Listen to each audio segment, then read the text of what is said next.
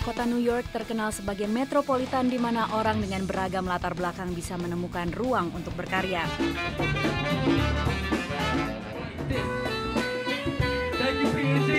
Termasuk musisi rap Cyrus McGoldrick, pemuda berdarah Irlandia Iran yang menggunakan nama panggung Rascal Khan. The Rascal Khan is a, is a character that's it's very much me, but it's also everyone. It's a young man in the city trying to do the right thing, but also fighting with himself and fighting with uh, you know powers that be.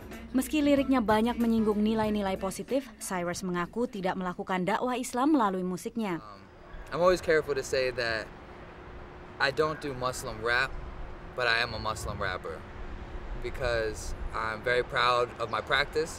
I'm very proud to be a practicing Muslim in America.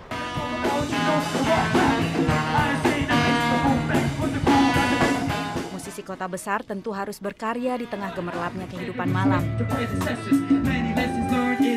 Namun Cyrus mengaku ini tidak menghalanginya menjadi muslim yang taat. Being a musician certainly involves being, uh, um, you know, present in some venues, you know, maybe around certain, you know, substances and people that, you know, the a Muslim who wasn't on that scene would try to avoid. It really has to do with, you know, what your concept of being a musician is, you know, and uh, if it's about the music, then that's one thing. You know, if it's about the parties and everything else afterwards, then that's a whole other thing.